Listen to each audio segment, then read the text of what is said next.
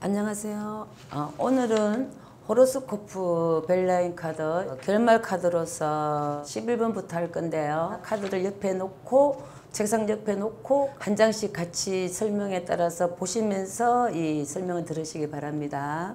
11번 출발. 이게 출발은 보통 보면 지구본이죠. 그림이 지구본에 이제 나침판이 가리키갖고 초침이 가리키가 어, 그런 모양을 나타냈죠. 나침판 위에만 보면 나침판 모양이고 전체로 보면 지구본에 나침판을 달았다 이렇게 모양을 보입니다. 그림에서는 동서남북 어, 방과 낮 음양이 바뀐다는 뜻입니다. 음양이 바뀐다 그 뜻이고요. 해외 문제가 바뀌는 것 아까 말씀드렸죠. 문제가 바뀌는 것 음양이 바뀐다. 낮과 밤이 바뀐다 이런 식으로 생각하시면 되고요. 재건축이 된다. 대칭, 대치, 여행, 선, 명상, 춘분, 추분, 동지, 하지. 그러니까 봄, 여름, 가을, 겨울 이렇게 바뀐다. 음양이 바뀐다. 방과 낮이 바뀐다. 경계선이라 뭐 그런 뜻입니다. 14번 악마 다 찾았습니까? 그 악마 옆에 이 카드가 있으면 어, 여행, 교통사고의 위험. 그럼 여행을 가지 말라는 거죠. 여행 가서 교통사고를 당한다. 좀 안 좋다. 삶과 죽음. 삶과 죽음의 경계선에 설수 있다. 그런 뜻입니다. 이 카드는 이제 긍정적인 카드는 뜻은 하나도 없습니다. 부정적인 뜻밖에 없습니다. 그래서 어, 좀 별로 안 좋은 카드죠. 결말 카드지만 결말 카드로서는 좀 안 좋은 카드라 이제 마음이 흔들린다. 불안정하다. 이 보시면 나침반이 검은 것과 흰색. 그러니까 어, 서로가 대칭된다. 그래서 대칭, 대치 이렇게 이제 뜻이고요. 불안정하다. 마음이 안정이 안 됐다. 마음이 흔들린다. 좀 연인들이 헤어질 때도 있는 결말에서 이 카드가 나옵니다. 왜냐면 불안정하다. 안정되지 못했다. 마음이 흔들린다. 조금 갈팡질팡하고 있다. 연인들 사이나 부부 간이라도 좀 마음이 흔들린다 하고 할 때 이제 메이저 카드로 같이 보시면 되겠지만 결말 카드에서 이제 이 카드가 최종적으로 나왔을 때는 이 불안정하다 흔들린다. 그러면은 뭐 좀 별거에 들어가겠다. 아니면 여인들로서는 좀 헤어질 수도 있다. 좀 이렇게 생각을 하시면서 통변을 하시면 됩니다. 이 단점만 있지 장점은 없는 카드입니다. 다음 12번 폭로. 이 폭로. 이 보면은 이제 만능경이 있고 커튼 뒤에 숨어서 이 사람이 빼꼼 쳐다보죠. 얼굴도 색깔이 반반이죠. 좀 호기심입니다. 이건 호기심으로 보는 거예요. 폭로, 이 호기심이란 말도 됩니다. 기회를 엿본다. 이것이 이제 호기심입니다. 기회를 엿본다. 호기심. 새로운 발견. 감출 것이 드러남. 폭로함, 물질적, 감정적 새로운 삶의 시작. 보면 불안정이란 뜻인데요. 뭔가 내가 무슨 일을 할까 말까 망설일 때도 이 카드가 나오고요. 또 이 카드는 이제 좀 마음이 안정이 안 됐다. 그럴 때도 나옵니다. 14번 악마 옆에는 배반의 경계. 이 6번 보상 옆에는 성공, 발견의 약속. 그러니까 이거는 좀 좋은 거죠. 계속 말씀드리다시피 조 카드의 양옆으로 봤을 때 또 마지막 최종적으로 세 번째로 이 카드가 결말에 최종적으로 이 카드가 있을 때는 암장도 마찬가지고 메이저 카드에서 아주 긍정적으로 나왔을 때는 또 긍정적으로 봅니다. 전체적인 키워드에서는 뭐 좀 단점만 많고 장점은 거의 없다 이런 카드입니다. 다음은 13번. 어, 13번 음식인데요. 웰빙이라고도 합니다. 음식 또한 웰빙. 먹는 행복, 제, 생일, 외출, 어, 외식, 소화불량. 이 주로 소화불량 됐을 때도 좀 카드가 많이 나옵니다. 음식 중독. 음식 중독이란 말은 살이 좀 많이 쪘을 때 비만인 분들이 이 카드를 떴을 때 좀 다이어트를 해라. 뭐 그런 뜻이 되겠죠. 그리고 대부분이 이 카드가 나왔다 하면은 건강을 좀 체크해라. 건강에 좀 위험 신호가 온다. 아니면 왔다. 주로 술을 많이 또 드시는 분들도 음식 카드가 나오더라고요. 또 이 카드는 뭐 주로 뭐 장단점이 없습니다. 그때그때 상황에 봐서 말씀을 드리면 되는데 주로 좀 건강에 좀 조심해라. 그런 생각으로 통변을 해드리면 됩니다. 웬만한 큰 키워드나 뜻은 안 가지고 있습니다. 그냥 음식. 제 생일 때는 음식을 많이 먹죠. 그러니까 음식을 적당히 먹어라. 또 너무 음식을 많이 먹고 좀 소화불량이 된다. 좀 그런 뜻이고. 조금 전에 말씀드렸듯이 단점은 없고 또 장점도 없습니다. 건강을 체크하면서 유의하라. 그 뜻입니다. 14번 악마. 그림을 보시면은 아주 안 좋죠. 그림에 악마 그래도 나왔죠. 불순물이 많고 또 우리 메이저 카드 15번 악마와 같이 저 연상을 하면 됩니다. 키워드는 메이저 15번 악마와 같은 키워드입니다. 건강으로는 몸 안에 균이 있다. 완전 균이죠. 탁한 기운. 어둠 속으로 탐독.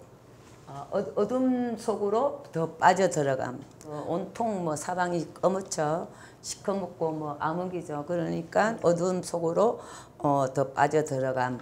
술, 담배, 환각제, 어둠 속의 욕망, 검은 돈, 건모술수, 탐독. 이제 건모술수가 많고 이 말을 또 잘한다. 15분 악마의 키우다 똑같죠. 그 술, 담배, 뭐 한각제 이런 거는 술집을 주로 많이 다닌다. 그래서 어, 기운이 탁하다. 몸속에 균이 많다. 이런 말이고요. 번호 49번이 49제인데 49번 옆에는 사고의 위기, 심각한 부주의, 자살 다 안 좋은 거죠. 49번 사제 옆에는 뭐 사고의 위기, 자살, 뭐 부주의 뭐 엄청 안 좋죠. 또 15번 가정. 다음번에 이제 15번 가정을 할 겁니다. 그 가정 부엌을 상징하는데요. 가정과 17번 이동 옆에 있으면은 성병, 풍토병. 메이저 카드 7번 술의 전차와 같죠. 비슷하죠. 하여튼 14번 악마는 메이저 카드 15번과 같이 키워드를 같이 연관지어서 생각하시면 되고요. 무조건 안 좋다. 그래도 15번 메이저 카드 15번은 좋은 점도 많죠. 예술성도 강하고 말도 잘하고 머리도 좋고 뭐 좋은 장점도 있는데 이 호로스코프 14번 악마는 아예 장점이라고는 하나도 없습니다. 다 단점, 나쁜 거. 나쁜 기운만 있으니까 그림만 봐도 안 좋죠. 그림만 봐도 이 무조건 안 좋다 이렇게 설명을 하시면 됩니다. 다음은 15번 가정. 이 가정이면 이제 우리 보통 부엌이죠. 부엌. 아궁이. 그리고 이제 좀 영, 노란색도 있고 보라색 있고 이거 영적인 카드죠. 주로 이 카드가 너무 나쁘지는 않습니다. 긍정적인 카드인데요. 부정적으로 설명할 때는 이제 조상에 대해서 기도를 많이 해라. 조상을 잘 모시라 뭐 이런 키워드가 가- 가져 있는데요. 주로 긍정적으로 이 보시면 되는 카드입니다. 집안 사람들 우리가 평소 살아가는 모든 장소에 대한 관계 이제 이것이 이제 부엌이죠. 아까 말씀드렸듯이 부엌. 옛날 같으면은 뭐 조왕신이 있다. 뭐 옛날 사람들이 이렇게 말씀을 많이 하, 하시더라고요. 뭐 그런 거좀 연관이 있습니다. 부엌이면 뭐 옛날에는 조왕이고 그렇죠. 그래서 이제 모든 이제 우리가 평소 살아가는 곳이면 부엌이죠. 모든 장소에 대한 관계, 하덕 따뜻함, 부엌 가정의 상징, 보라색은 영성이므로 종교성도 된다. 이 아까 말씀드렸죠 이 보라- 보라색요. 이 보라색이 영성, 종교성도 된다 그 말이고요. 또 영적인 기운이 이 아주 강한 카드입니다. 이 카드는. 그리고 또 몸이 좀 차운 사람들 내 몸이 이상이 있겠습니까? 뭐 내 나의 건강은 어떻습니까? 이렇게 물어볼 때 어, 위에 메이저 카드가 뭐 17번이나 21번이 그런 카드가 좀 같이 있다 할 때 그 밑에 이제 결말 카드로서 이 카드가 나오면 좀 몸을 좀 따뜻하게 하세요. 몸이 굉장히 춥네요. 그러다가 나중 큰 병이 생깁니다. 이렇게 한 번씩 좀 말씀을 해 드리도 참 좋, 좋습니다. 어, 그리고 이제 뭐 17번 이동입니다. 이동 옆에 있을 때는 이제 보통 보면 성병 이제 다음 다음 번이 17번인데 그 카드가 나오면 또 보십시오. 성병이나 풍토병에 좀 걸린다. 그러니까 좀 조심해라. 그리고 이제 뭐 7번 우리가 메이저 카드 7번 수레바퀴 있죠. 그 카드하고 또 이 카드가 있을 때는 좀 멀리 뭐 이사를 우리가 한다. 같이 7번이 위에 메이저 카드가 7번이 있다 할 때는 필히 이사를 좀 멀리 이사를 해야 됩니다. 내가, 지금 살고 있는 집이 조금 여기서 몸이 안 좋은데 어떻습니까? 아니면 이사를 하려고 하는데 어떻습니까? 할 때 메이저 카드 7번과 이거 가- 이 15번이 같이 나왔다 하면 필히 이사를 지금 사는 집이 좀 좋더라도 뭔가 문제가 있으니까 필히 이사하십시오. 필히 이사를 가십시오. 이렇게 말씀도 하시는 것도 좋습니다. 16번 어, 물이죠. 이 물인데 보통 등대라고 합니다. 왜냐하면 이 등대 그림 있죠. 또 등대가 빛을 비춰주니까 나쁜 카드는 아니겠죠. 좋은 카드입니다. 희망이 있죠. 희망을 주니까 빛을 사면에 비춰주니까 온 바다에 온 빛을 비추니까 빛이 쫙 멀리까지 등대 빛은 멀리까지 퍼져 나가니까 희망을 주는 카드죠. 바다, 호수, 강과 물을 향한 여행. 바다와 관련된 직업. 아무래도 이거 물이고 또 등대니까 물과 같은 계통의 직업을 가지면 좋겠죠. 뭐 장사를 해도 뭐 식당이나 뭐 여관이나 사우나나 모든 것이 이제 물과 같은 물, 물 계통에 끼고 하면은 좋다. 또 바다와 관련된 직업이니까요. 그리고 해외여행도 됩니다. 해외여행도 되고 이 카드의 좋은 점은 긍정적으로서는 빛이 보인다. 이 빛이 사면으로 퍼져주니까 빛이 보인다. 서서히 안정권에 든다. 왜냐 모든 일을 하는데 지금 이 일이 잘 안 된다. 막혔다. 그러면 어떻게 하면 좋겠습니까? 하고 내 남자께서 물어보실 때 이 카드가 나왔다. 그러면 빛이 보이고 등대가 빛을 비춰주니까 아 조금 기다리십시오. 너무 서두르지 마시고 조금 기다리시면 서서히 일이 풀려 나갑니다. 이렇게 통보해드리면 됩니다. 왜냐하면 서서히 빛이 비춰주니까 안정거리에 들었다. 아주 편안하죠. 등대빛만 불빛만 봐도 보통 보면 그러니까 안정권에 들었다 기다려라 아주 좋은 카드입니다. 나쁜 카드는 아닙니다. 어, 14번 악마 옆에 어, 조금 전에 했죠. 악마 옆에 있을 때는 익사의 위험, 난파, 해일, 뭐 해일이란 뭐 폭풍이나 지진으로 물결이 막 넘치는 거죠. 태, 보통 태풍도 불 때도 해일이 심하게 막 해갖고 육지로 물이 바닷물이 넘쳐가죠. 그러니까 아주 무서운 거죠. 재난, 홍수. 이 14번 나쁜 카드죠. 나쁜 카드 옆에 있을 때 이제 이- 이는 상황이 온다. 그렇고 그 외에는 이제 장점이 많은 겁니다. 이 카드가. 자, 단점으로서는 이제 부정적으로서는 이제 좀 오래 기다린다. 부정적으로는. 왜냐 뭐 무슨 일을 해도 금방 풀리지 않고 서서히 기- 어, 풀리니까 이 단점으로서는 부정적으로서는 오- 오래 기다린다. 어, 만약 내가 100% 일을 성과를 달성을 해야 되는데 어, 떻게 하면 좋겠습니까? 하실 때 이제 이 카드가 나왔다. 금방은 안 된다 했죠. 왜냐하면 좋은 점은 빛이 보이니까 희망이 있다. 서서히 일이 풀린다 했으니까 이제 부정적으로는 그 반대니까 오래 실이 오래 걸린다. 금방 안 된다. 이렇게 반대만 생각하시면 됩니다. 그것이 좀 단점이라면 단점이지만 그 위에는 희망이 있다. 아주 좋은 카드죠.